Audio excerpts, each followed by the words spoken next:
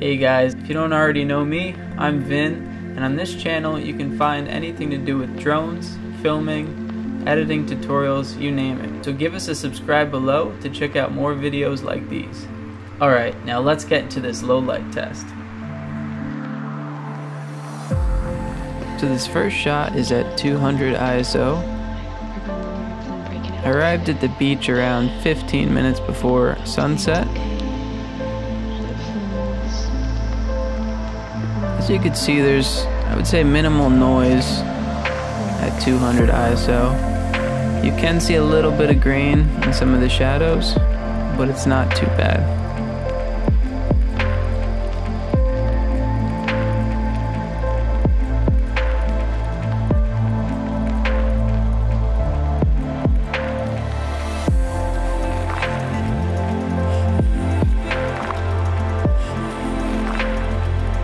This next shot is at 400 ISO.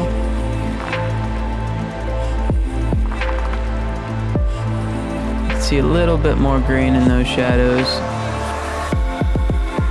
I believe this shot was just as the sun set.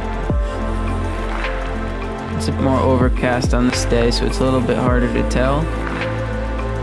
The sun is just about set here.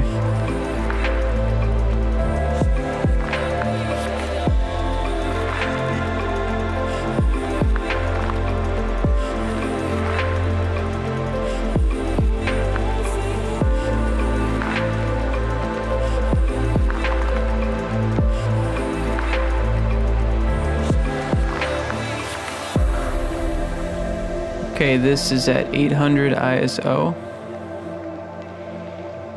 We're definitely starting to see some more noise over the ocean specifically. And in those darker areas.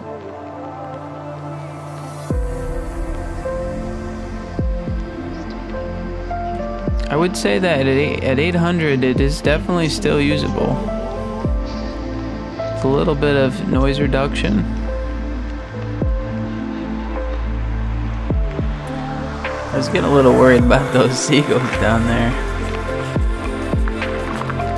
This next shot at 1600 ISO.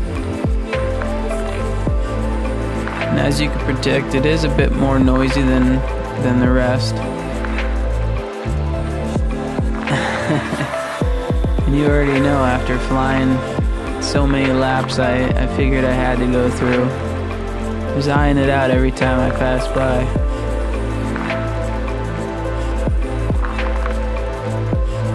It is pretty dark at this point.